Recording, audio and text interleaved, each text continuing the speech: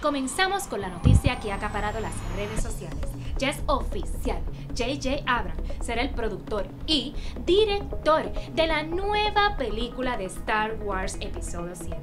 Veremos lens flares en toda la película.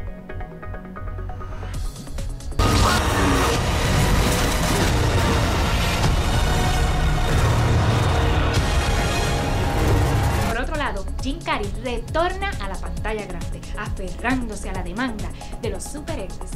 Pues lo veremos interpretando al coronel Stars en la secuela de Kick-Ass, mientras se asoma la posibilidad de su aparición en Guardians of the Galaxy. Pues los productores de Marvel están hablando tanto con Carrey como con Adam Sandler.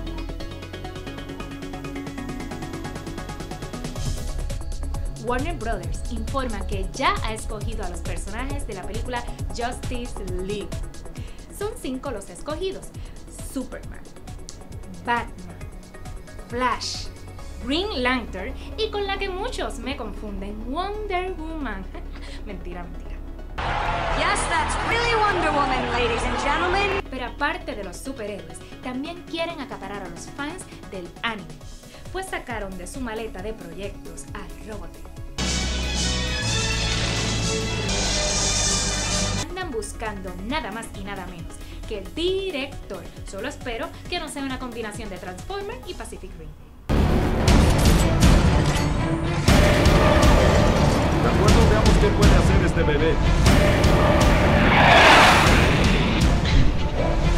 Para los fanáticos de Dread. 800 million people living in the ruin of the old world. Déjenme informarles que ha ocurrido algo increíble. Después de un fracaso taquillero, con solo un recaudo de 32 millones, de 50 millones invertidos, o sea, un evidente desastre. Resulta que es el Blu-ray más vendido en lo que va de año. Que no les sorprenda que el estudio decida hacer una segunda parte, aunque sea para formato Blu-ray.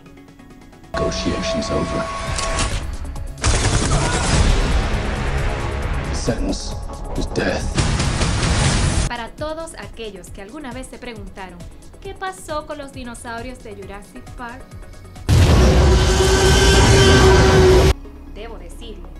que se espera el estreno de la cuarta película para junio de 2014.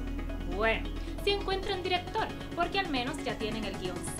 Y los que no pueden esperar, en abril se reestrena la primera película de Jurassic Park, pero en formato 3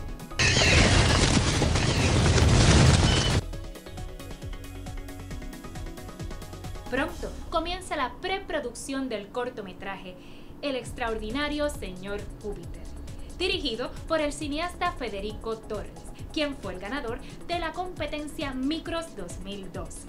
Se espera que se estrene para finales del verano.